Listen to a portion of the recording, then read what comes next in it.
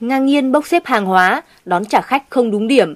Nhiều nhà xe vẫn hoạt động vô tư theo kiểu không giống ai tại một gara ô tô ở số 8 đường Trần Thủ Độ, phường Hoàng Liệt, quận Hoàng Mai, thành phố Hà Nội.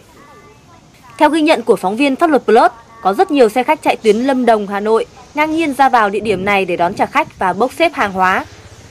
Cụ thể, khoảng 2 đến 5 giờ chiều hàng ngày là thời điểm các xe này cập bến và bắt đầu đón trả khách tại đây. Khi có mặt tại đây, phóng viên đã ghi nhận được nhiều nhà xe có gắn mác chạy tuyến cố định Lâm Đồng, Đà Lạt, Đắk Lắk rồi về bến nước ngầm Hà Nội. Nhưng không hiểu vì lý do gì mà tất cả các xe này đều di chuyển vào khu vực này để đón khách.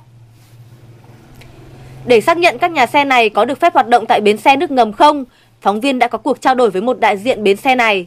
Vị này khẳng định tất cả các xe mà phóng viên cung cấp biển số đều không hoạt động tại bến xe nước ngầm. Ờ đồng chí ơi, dạ. mấy cái xe đấy, cái xe 47, 48 với 49 là không có ở bến. Tất cả đều không có ở bến mình anh? Ờ, tức là xe biển 47 này, biển 48 này, 49 này, mấy cái biển số xe đấy không có ở bến nước ngầm. Cũng theo ghi nhận thì quanh khu vực này cũng không ít gara ô tô có các xe khách ra vào đón trả khách và bốc xếp hàng hóa như gara ô tô nêu trên. Qua đây, đề nghị các cơ quan chức năng liên quan nên sớm vào cuộc xử lý dứt điểm tình trạng nêu trên để đảm bảo an toàn, an ninh trật tự cũng như quyền lợi của hành khách đi xe.